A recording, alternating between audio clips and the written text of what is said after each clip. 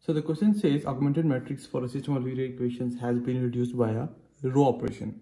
So solve system by back substitution and assume variables as x1 and x2. So first of all, the linear system corresponding to the augmented matrix will be x1 plus fx3 plus 3x4 equals to 2 and then we have x2 minus sorry minus 2x3 plus 4x4 equals to minus 7 and then we have x3 equals to uh, x3 plus x4 equals to 3 now we will solve for leading variables. So first of all we will solve for leading variables.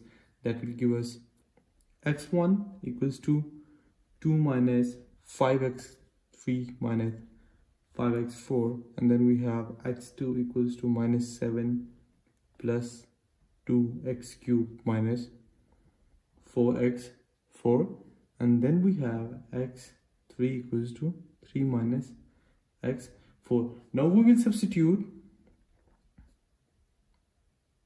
substitute x3 equals to 3 minus x4 into first two equations.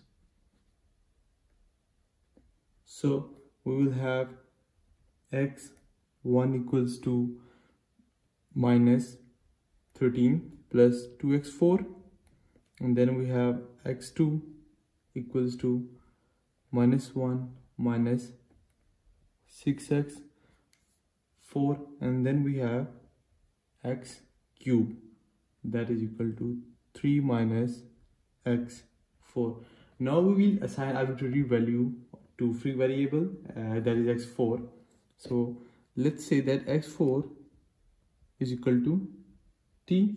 The then the solution set is described by the parametric equation so for parametric equations will be x1 equals to minus 13 plus 2t x2 equals to minus 1 uh, minus 1 minus 60 right?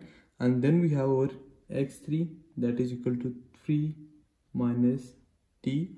And then we have our x4 that is equal to t. So here is our solution for the given question